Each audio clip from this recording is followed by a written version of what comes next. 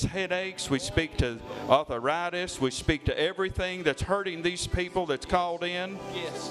In the name of Jesus, we command that you leave them now.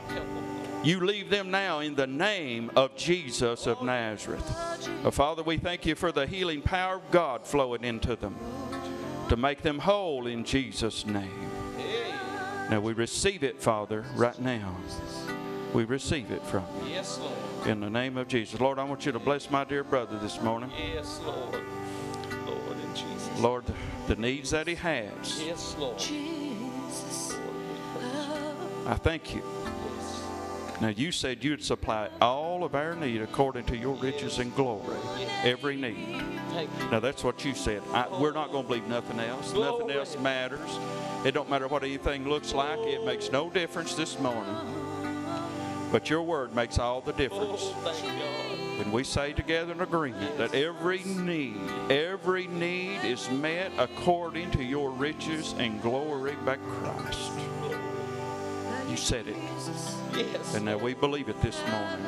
Yes, Lord. We believe it. Thank you, Lord. We believe it. Oh. Thank you for the mighty anointing of God It's on his life, Father. Oh, And I just say increase it. Oh, Increase it. yes, Lord. Wow! Glory, glory, glory. Going to increase it. Oh, thank you, Going Lord. to increase it. Praise God. Mm. Glory.